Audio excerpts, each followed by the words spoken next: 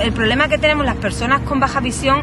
es que, mm, bueno, necesitamos a, una persona para que nos guíe.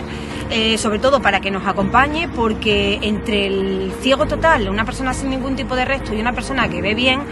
pues hay muchas tonalidades de grises.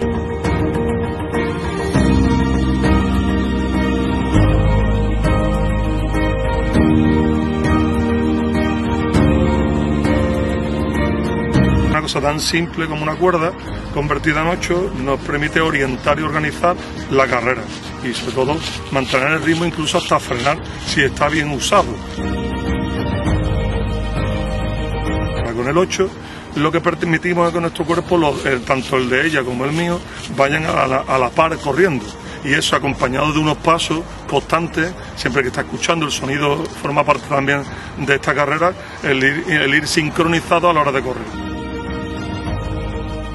La idea era ilusionante porque era una forma nueva de, concebir el deporte. Ya no solamente corro para mí, sino que también corro para ayudar a otras personas y, eso al, fin y al cabo en el tiempo eh, eh, es una forma de agradecerle a la vida al estar aquí, de servir también para ayudar a otras personas que no tienen la capacidad o tienen menos capacidad que tú. Eh, la verdad que Dani en ese sentido